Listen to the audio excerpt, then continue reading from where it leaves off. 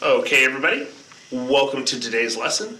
We are actually going to be taking a look today and reading about Mexican drug cartels. Now, if you're thinking, wait a second, did you just say Mexican drug cartels? Why are we learning about that? Okay, here's the key, and this is going to happen both today and also on Tuesday. We're looking at factors that have caused migration out of Central America and out of Mexico and into places like the United States and Canada. Okay, so the U.S. will be taking a look at the illegal immigration factor because remember, there's always two things, right? There's immigration. Immigration is where you follow the set of rules for uh, that a country has in terms of moving from your country into their country. But in terms of illegal immigration, that's when you're entering a country illegally. All right. But we're going to take a look at the factors that have caused a lot of illegal immigration coming from Mexico and also coming from countries in Central America through Mexico. And one of the things we have to take a look at when we're talking about Mexico is drug cartels. What role do drug cartels play in Mexico? What are some of the problems that they have brought to Mexico? You know, on Tuesday, we'll be taking a look at education levels and poverty in a lot of Central America and also Mexico because those are the driving factors in people trying to leave those places. Okay? So, that's why we're taking a look at drug cartels. Mr. McGee has not lost his mind. You're not you don't need to be thinking, what what has happened? Why are we learning? We're learning about what effect do they have on the on Mexico. And again, what effect do they have on Mexico? But in a broader sense, how do drug cartels, how do they cause a lot of the illegal immigration or people trying to get out of Mexico that we've seen in the last few decades? All right? So, ladies and gentlemen, let's get started.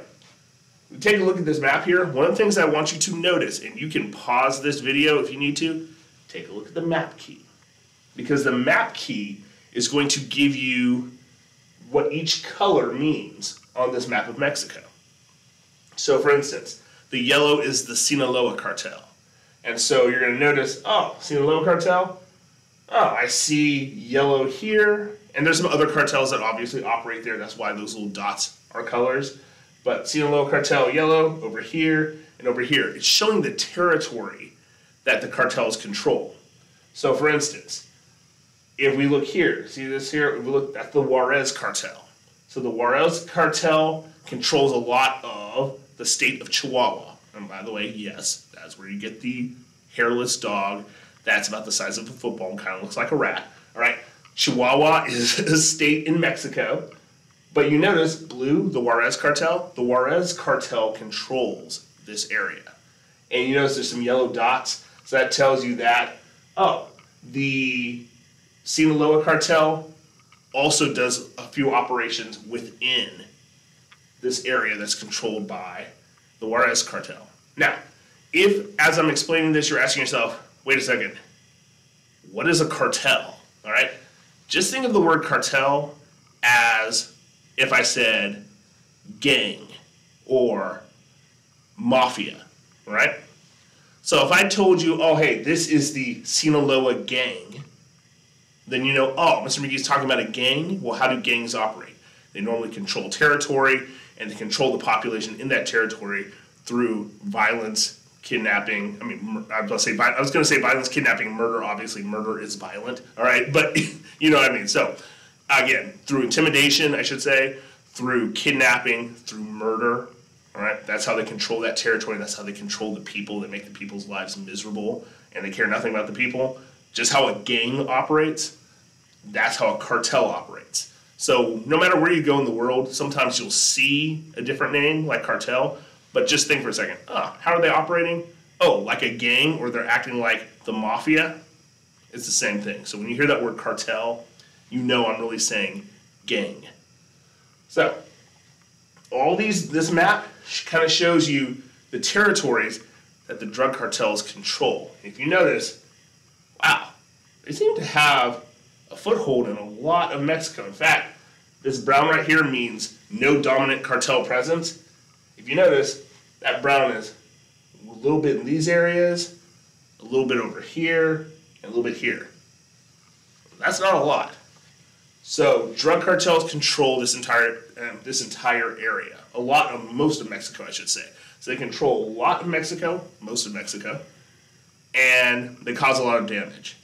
So what you're going to read uh, today, if you actually look at the module, you will have noticed that I linked an article for you to read on the problems that drug cartels cause in Mexico.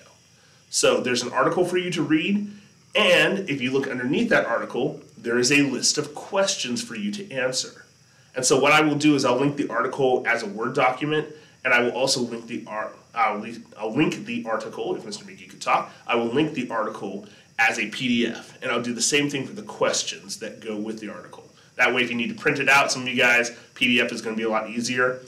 As usual, if you can't, if you don't have the technology to be able to open up the Word document questions and type your answers on that document and save, or if you don't have a printer at all, remember you can do the same thing before that we've done before.